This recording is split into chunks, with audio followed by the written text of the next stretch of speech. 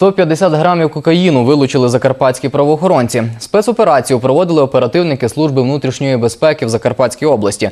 Під час огляду затриманого в його кишені поліцейські виявили поліетиленовий пакет із порошком білого кольору. Експерти встановили всередині важкий наркотик. Вартість вилученого на чорному ринку складає близько півмільйона гривень.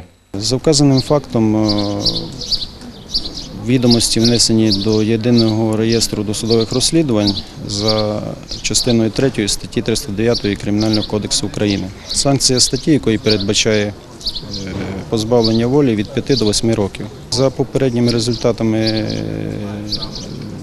е, висновку експерта НДКЦ встановлено, що даною речовиною є наркотичний засіб кокаїн.